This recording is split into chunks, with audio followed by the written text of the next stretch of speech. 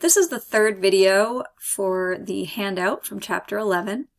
And this video is going to teach us how to calculate percentiles or cumulative probabilities. So if we have a value, little x, the percentile function is going to tell us the probability that the random variable takes a value less than or equal to x. And the way that we find this value is by typing in a p for percentile, and then the model name that goes with the probability model that we're using, and then x, the number we're trying to figure out what the probability that the random variable takes a value less than, this little x, and then we put in the parameter that we need for um, whatever distribution we're working with.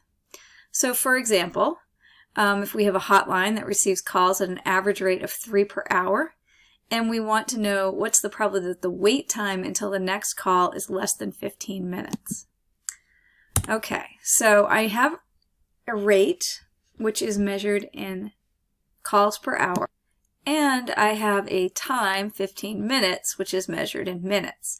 So noting that 15 minutes is equal to one quarter of an hour, or 0.25 hours, is going to be important as I'm calculating this percentile. Okay, so I'm going to use P for percentile, and then the time until the next event is modeled with an exponential distribution in many situations. I'm going to use that here. We want to know what's the probability that the time to the next call is going to be less than x. Okay, so x is 15 minutes, but since I've got my rate in hours, I'm going to do 0.25 because 15 minutes is 0.25 hours.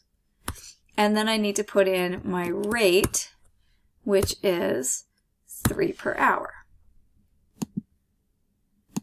That, and it tells us down here in our console that the probability that the first call is next call is received in less than 15 minutes is 0.5276 approximately.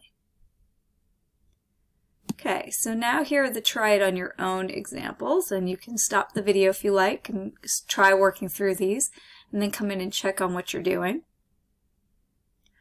The first one is, according to the U.S. Census Bureau, 80.6% of Vermont households have broadband internet. We randomly select 50 Vermont households, and we want to know what is the probability that fewer than 40 of them have broadband internet. Okay, so here I've got to take a look and say, okay, so I'm trying to find the probability that something is less than, so the percentile function is going to be perfect for that. I've got a binomial distribution because I'm randomly selecting households with the same probability of success. So I'm going to do P binom.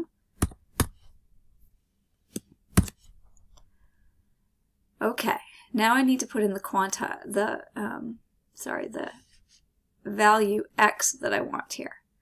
Now, the thing is that if I want fewer than 40, the quantile function is always going to tell me the probability that x is less than or equal to x.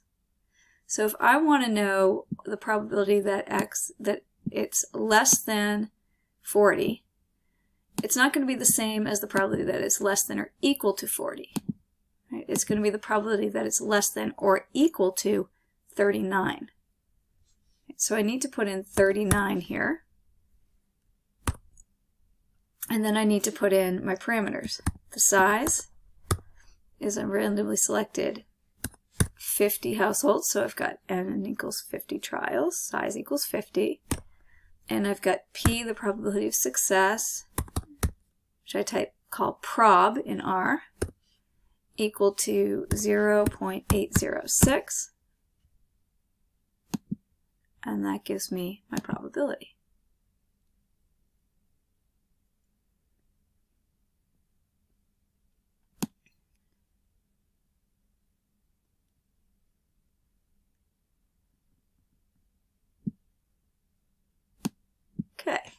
For looking at the heights of 14-year-old girls can be modeled with a normal distribution with a mean of 15.12 meters and a standard deviation of 0.04, sorry, 0.0741 meters. If we randomly select one 14-year-old girl, what is the probability that she is between 1.55 and 1.6 meters tall? So here I'm going to find the probability first that the girl is less than 1.6 meters tall. So P for percentile, and then I'm using a normal distribution here, so P norm. My value I want to know, probability less than 1.6. And then I need to specify the mean equals 1.512, comma, standard deviation, SD, equals 0.0741.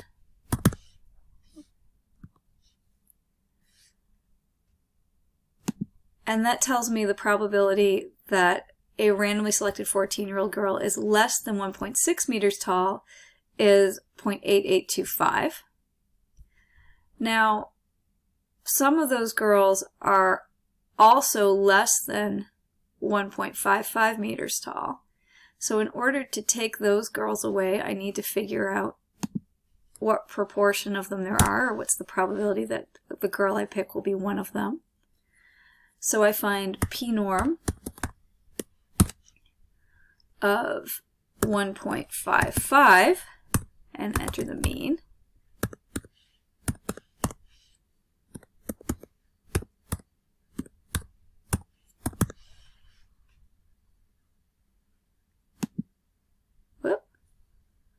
Type something up. I mean equals. Let's see. There we go. Mean equals. Fix that. Okay, so the probability that a girl is less than or equal to 1.6 meters tall is 0.88. The probability that a girl randomly selected is less than 1.55 meters tall is 0.6959. So if I want to find the probability that a girl's height is in between those two, I can take the difference between them. So I'll copy this one and subtract off this one.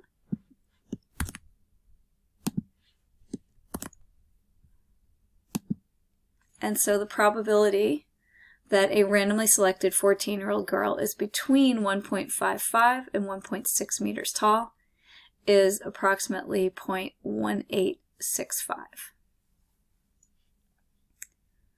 Okay. And then the last um, exercise here is to illustrate how when we're working with a discrete random variable, we can find the probability that exactly a particular number of events occur or that the random variable takes on an exact value. And the way that we can use the percentile to do this is by noting that when I'm looking at something like the number of hurricanes, the probability that um,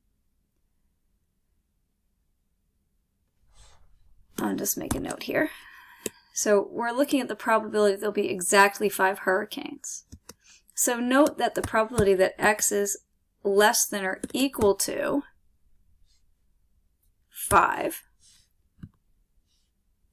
Because there are, we're counting things, it's not possible for a value to be less than or equal to uh, in between 4 and 5. This would be the probability that x is less than or equal to 4 plus the probability that x is exactly equal to 5. So I can find the probability that x is exactly equal to 5 by taking the probability that x is less than or equal to 5 and then subtracting off the probability that x is less than or equal to 4. And to do this with r, what that means is that I need to take the percentile here we've got a Poisson distribution, so P, P-O-I-S is my function for the Poisson percentile. I'm starting, I want to find the probability that x is equal to 5 It's probably that it's less than or equal to 5. So 5 would be my value to put in here. And I need to tell it the parameter for the lam uh, lambda for my Poisson distribution, 5.5. And then I subtract off the probability that x is less than or equal to 4. That's my Poisson percentile again. This time with 4 as the value I'm less than or equal to. And again, I need my lambda equals 5.5. And this will tell me the probability that x is exactly equal to 5. So in a Poisson distribution with lambda equal to 5.5, the probability that x equals 5 is 0.17, and the probability that there will be exactly 5 hurricanes next year is approximately 0.17 or 17%. I hope these videos have helped you work through the handout. Have a good day, and I will talk to you soon.